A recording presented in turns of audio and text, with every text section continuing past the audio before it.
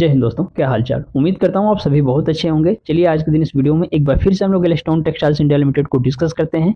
एक ऐसी कंपनी है जिसके बारे में समय समय पर मेरे वीडियो में, मेरे चैनल पर बात होती रहती है और इसके पीछे वजह भी है क्योंकि एलेस्टोन टेक्सटाइल्स में बहुत सारे रिटेल इन्वेस्ट का पैसा लगा हुआ है, इसको ऐसे ही जाया नहीं होने दे सकते हैं। चलिए आज इस वीडियो में आपको कुछ पॉजिटिव चीज़ें बताऊँगा और सिर्फ़ और सिर्फ़ पॉजिटिव चीज़ें ही बताऊँगा ताकि आपका मनोबल बढ़े और क्योंकि ये एक ऐसी कंपनी जो अभी नहीं चल रही, जब चलेगी तो लंबा चलेगा तो उन एक दिन में यहाँ पर देखेंगे तकरीबन साढ़े तीन परसेंट के आसपास तेज़ी देखने को मिली है। हालाँकि हम सभी जानते हैं, एक दिन की तेज़ी से कुछ नहीं होता, लेकिन एक उम्मीद तो जगती है ना कि हाँ इस स्टॉक में तेज़ी आ रही है। तेज़ी तभी आती है जब उसमें बायर्स बढ़ते हैं, उसमें निवेशकों की रुझान बढ़ती है। ये जो कंपनी टेक्सटाइल इंडस्ट्री से बिलोंग करती है। और हम सभी जानते हैं कि भारत के भारत के सरकार का सपना है कि हमें बांग्लादेश से भी सबसे ऊपर जाना है, पूरी दुनिया में सबसे ऊपर जाना है टेक्सटाइल इंडस्ट्री के मामले में। अभी बांग्लादेश हमसे ऊपर चल रहा है। तो टेक्सटाइल इंडस्ट्री में सबसे आगे जाने के लिए सरकार इसमें क्या करती है कि इन्वेस्टमेंट भी सरकार की तरफ़ से खूब इसमें इन्वेस्टमेंट किया जा रहा है। टेक्सटाइल सेक्टर को बढ़ावा देने के लिए। और बाकी इस कंपनी में सरकार के अलावा जो प्रमोटर्स हैं, उनकी भी हिस्सेदारी इस कंपनी में इस बार बढ़ी है, उसको मैं आगे इस वीडियो में बताऊँगा। टेक्सटाइल सेक्टर से काम करने वाली कंपनी है तो काम के बिहार पे यदि समझे तो फ्यूचरिस्टिक पॉइंट ऑफ़ व्यू से कंपनी काफ़ी इंपॉर्टेंट हो जाती है, इसमें इन्वेस्टमेंट करने के लिहाज से। काम आप समझ गए, चलिए फंडामेंटल को थोड़ा सा डिस्कस कर लेते हैं। यहाँ 77 करोड़ के आसपास कंपनी का मार्केट कैप है। यानी कि एक छोटी कंपनी है तुम सभी जानते हैं, छोटी कंपनी के हिसाब से देखेंगे तो स्टॉक का पी भी अभी बहुत कम, सिर्फ़ पाँच करीब पाँच के करीब है। अब बताइए ऐसी कौन सी कंपनी है जिसका पी छोटी कंपनी में बात कर पाँच से पाँच के करीब होता है। सामान्यतः पी रेशियो जितना कम हो उतना अच्छा माना जाता है।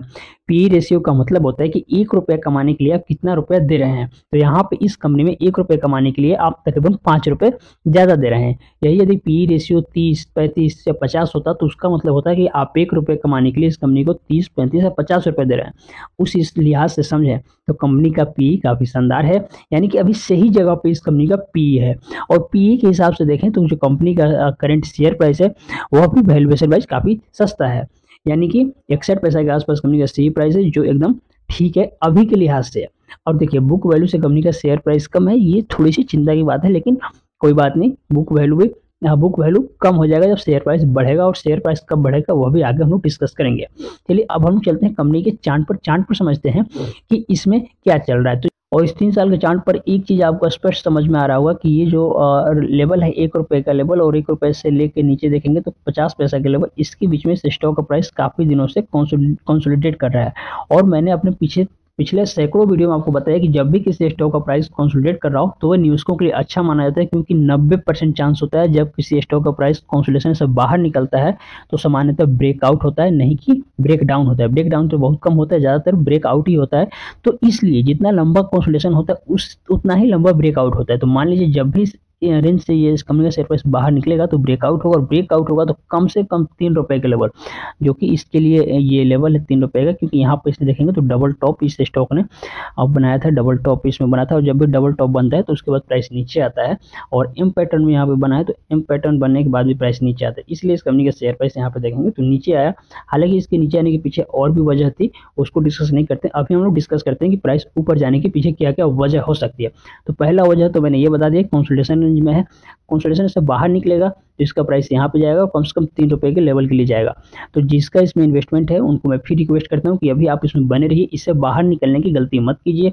दूसरा जो नया व्यक्ति इन्वेस्टमेंट करना चाहते हैं, उनके लिए अच्छा अपॉर्चुनिटी ये होगा, जब इस स्टॉक का प्राइस एक के ऊपर आएगा, यानी कि आप यहाँ पे, जब इस कंपनी का शेयर प्राइस बाहर निकलेगा और यहाँ पे आएगा तो आप इस लेवल के आसपास, एक रुपये के लेवल के आसपास थोड़ा बहुत इन्वेस्टमेंट कर सकते हैं, अपने रिस्क लेने की कैपेसिटी के हिसाब से। क्योंकि बैलेंस शीट में आपको मैं कुछ कमाल की चीज़ दिखाता हूँ। बैलेंस शीट में देखेंगे आप तो जो कंपनी का इक्विटी कैपिटल होता है, देखिए पिछले कुछ दिनों में बढ़ा है और ज़बरदस्त तरीके से बढ़ा इक्विटी कैपिटल बढ़ना चाहिए, साथ ही कंपनी का जो रिज़र्व पैसा होता है रिज़र्व पैसा तो पिछले कुछ दिनों में देखेंगे तो कम हुआ है, लेकिन यदि पिछले क्वार्टर से देखें, जो पहले इक्कीस करोड़ था, वो बढ़ के भी तेईस करोड़ हो गया यानी कि रिज़र्व कंपनी का बढ़ा है और साथ में वही कंपनी का जो कर्जा है, देखिए कर्जा पहले पिछले क्वार्टर में बढ़ा था, लेकिन इस क्वार्टर में नहीं बढ़ा है सेम ही रह गया। यानी कि ये भी बहुत बढ़िया शानदार बात है कि कंपनी का कर्जा नहीं बढ़ रहा है और डेप्ट नहीं बढ़ना सबसे कमाल की बात होती है, क्योंकि कंपनी के पास कर्जा नहीं रहेगा तो जो भी कंपनी प्रॉफिट कमाएगी, उसका यूज़ कहाँ करेगी?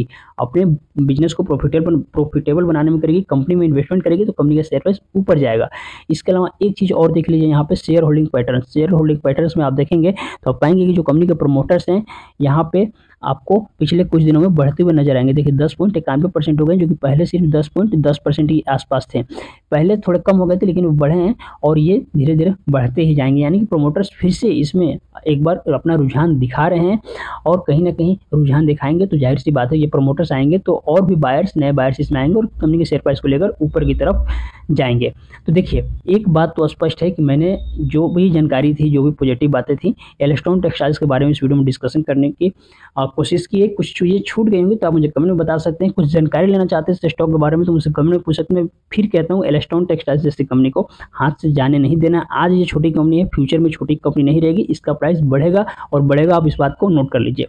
उम्मीद करता हूँ वीडियो आपको पसंद आई होगी। मिलते हैं अगली वीडियो में, तब तक के लिए धन्यवाद, शुक्रिया, आपका दिन शुभ हो।